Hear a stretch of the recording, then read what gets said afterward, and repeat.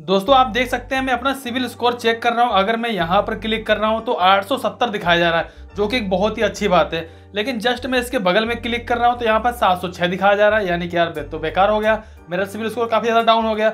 अब वहीं उसके और बगल में क्लिक कर रहा हूँ, मेरा जो तीसरा ऑप्शन मिला, यहाँ पर क्लिक कर रहा हूँ तो यहाँ पर सात सौ अड़सठ दिखाया जा रहा है। अब मुझे ये समझ में नहीं आ रहा कौन सा सिविल स्कोर सही है। इसी तरीके से आपके साथ भी प्रॉब्लम हो सकती है, अगर आप पैसा बाज़ार डॉट कॉम पर देखने जाते हैं। सिविल की ऑफिशियल वेबसाइट पे देखते हैं या पेटीएम से चेक करते हैं, गूगल पे से चेक करते हैं अमेजोन से चेक करते हैं, बहुत सी जहाँ जहाँ पे आप चेक करेंगे, हो सकता है आपको अलग अलग तरीके से दिखाया जाता होगा। आपका नंबर कहीं कम, कहीं ज़्यादा, कहीं गुड, कहीं वेरी गुड अब आपको कन्फ्यूज़न ये होते थे, यार, इसमें एक्चुअली में सही कौन सा है? हम अगर बैंक में जाएँगे या क्रेडिट कार्ड के लिए या लोन के लिए जब अप्लाई करते हैं ऑनलाइन या ऑफलाइन कैसे भी तो हमारा जो एक्चुअल सिविल स्कोर होगा, वो सही कौन सा है?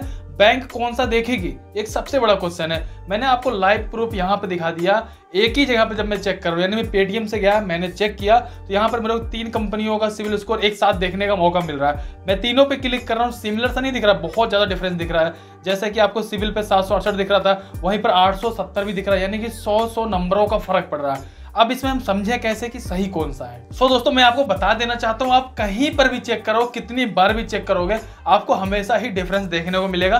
क्योंकि ये जो कंपनियाँ होती हैं अलग अलग जैसे कि अभी हमने पेटीएम पे चेक किया यहाँ पे एक सिविल है जो आपका डाटा रखती है जो आपका सिविल का डाटा पूरा पूरा वहाँ पे कैलकुलेट करके रखती है। अब मेनली बात ये आती है कि अगर हम आप चेक कर रहे हैं तो अलग अलग क्यों दिखाया जा रहा है? क्योंकि देखो ये अलग अलग तरीके से कंपनियाँ आपके अलग अलग तरीके से डाटा को मैनेज करती हैं आपके क्रेडिट कार्ड या आपके जो भी आपका लोन वगैरह चल रहा है, उसकी हिस्ट्री को मैनेज करती हैं। कुछ लेटेस्ट अपडेट तक रहता है, कुछ को अपडेट नहीं रह पाता है। तो ओवरऑल देखा जाए, जब भी आप अगर अप्लाई करने जाएँगे, हमेशा ध्यान रखिएगा, जब भी आप क्रेडिट कार्ड के लिए अप्लाई करते हैं लोन के लिए अप्लाई करेंगे तो हमेशा आप पाएँगे यही कि अगर आप किसी थर्ड पार्टी से अप्लीकेशन से अपना सिविल स्कोर चेक कर रहे हैं तो वहाँ से हमेशा आपको कम ही देखने को मिलता है, हमेशा। अभी जैसे मैंने आपको दिखाया, यहाँ पर मेरा वो आठ दिखाया जा रहा है। अब मैं मान लूँ, मेरा आठ है, मैं जाकर बैंक में अप्लाई करूँ, और कल को जाकर मेरे बैंक ने बोला, नहीं, आपका तो सात है। तो मुझे लगेगा कि गलत बैंक कह रही है। जब बैंक गलत नहीं कह रही है, ध्यान रखिएगा बैंक गलत नहीं कह रही क्योंकि एक्चुअल चीज़ क्या है कि बैंक हमें हमेशा अपना एक्चुअली दिखाएगी, वो हमेशा एक सही तरीके से देखती है। आपको अगर अपने बिल्कुल जेनुअन जानना हो ना देखो, सबसे बड़ी प्रॉब्लम हमारे साथ कहाँ आती है?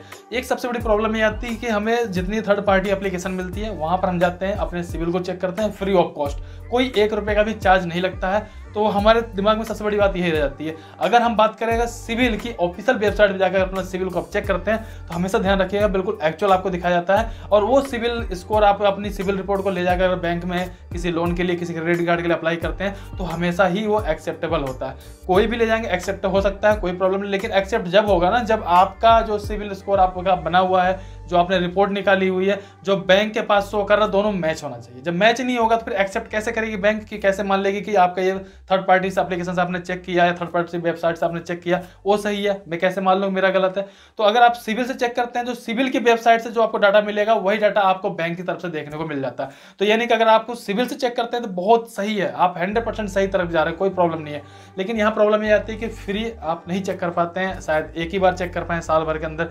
यानी कि अगर आप मेंबरशिप लेते हैं तो आप इसको कई बार चेक कर सकते हो, कोई प्रॉब्लम नहीं है। अपडेट वहाँ पे जाकर देख सकते हैं अपडेटेड अपना सिविल स्कोर को चेक कर पाएँगे। इसके साथ बहुत सारी फैसिलिटी मिल जाती है, जैसे आपको रिमूव करने का हुआ, या आप कोई भी लोन ले रहे हैं, कोई क्रेडिट कार्ड ले रहे हैं, आपका सिविल स्कोर कितना प्लस हो रहा है, कितना माइनस हो रहा है, बहुत सारी चीज़ों को आप मैनेज कर सकते हैं जब आप पैसा खर्च करोगे। अगर आप पैसा नहीं खर्च करना चाहते हो तो भाई आपको ये प्रॉब्लम आएगी आएगी, ठीक है? थर्ड पार्टी एप्लीकेशन आप इस तरीके से आप चेक करते हैं।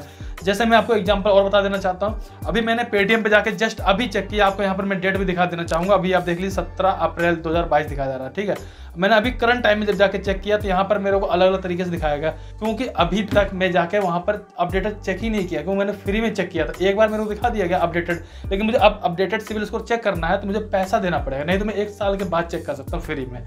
तो ये कि सबसे बड़ी इंपॉर्टेंट बात यही है, जो आपका सिविल का डाटा होता है, आप उसको प्रेफर करें ज़्यादा अच्छा रहेगा, और आपको ऐसा लगता है तो आप छोटा सा अमाउंट होता है, इनके देख लें मेंबरशिप होती है जो आपको देखते हैं छः महीने की, साल भर की, एक बहुत ही अच्छी फैसिलिटी मिलती है आपको उस मेंबरशिप में। हमें आपको ऐसा लगता है, यार, हम सिविल स्कोर देखने के लिए क्या फ़ायदा यार, हज़ार बारह सौ रुपये खर्च कर रहे हैं। अगर आपको डिटेल में जानना है प्लीज़ कमेंट कर ज़रूर बताइए। मैं आपको डिटेल में एक जानकर ज़रूर शेयर करना चाहूँगा कि अगर आप पैसा देकर जो मेंबरशिप खरीदते हैं सिविल से और वहाँ पर अपनी सिविल को चेक करते हैं, या फिर आपको सिविल तरफ़ से क्या क्या फैसिलिटी मिलती है तो मैं उसके ऊपर एक वीडियो ज़रूर डेडिकेटेड बना दूँगा।